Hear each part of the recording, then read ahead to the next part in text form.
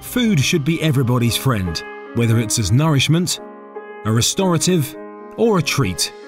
However, if it's not handled correctly, it can quickly become a foe, with distressing, debilitating, or even fatal results.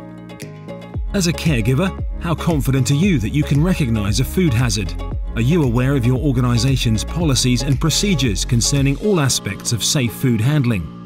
Altura Learning's comprehensive programme, A Guide to Safe Food Handling, addresses these questions. Remember, it's easy. Safe food, save lives. Service, please. A Guide to Safe Food Handling on Altura Learning.